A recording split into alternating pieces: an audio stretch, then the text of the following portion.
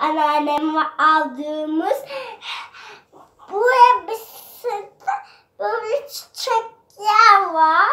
Böyle kırmızılı, beyazlı. Böyle bir elbise. Arkası böyle, önü böyle. Kolları da aynı desenli. Böyle bir elbisem aldı.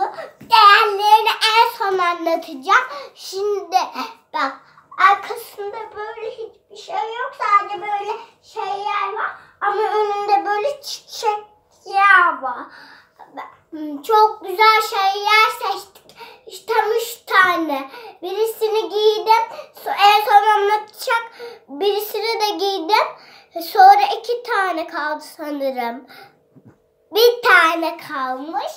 Bir tane gi- giydim. Bir, iki tane giydim. Bir tane kaldı. Ve o en çok sevdiğim elbise. ilk başta giydiğim elbise. Şimdi video kapatıyor. Di- Diğer elbiselerimi anlatıyorum.